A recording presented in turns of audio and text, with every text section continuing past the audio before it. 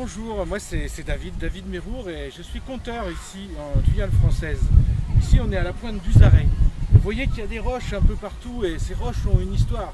On raconte qu'autrefois, eh bien, c'était des tortues de mer. Alors peut-être que cette histoire, je vous la raconterai bientôt au festival de contes de la Laurentide. En tout cas, je me fais déjà un plaisir de venir vous rejoindre et vous apporter mon sac d'histoire de Guyane.